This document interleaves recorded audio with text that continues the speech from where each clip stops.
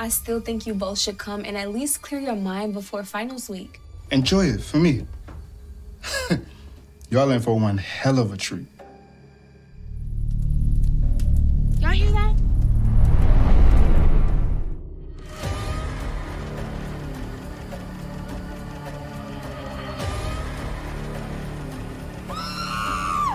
Jalen,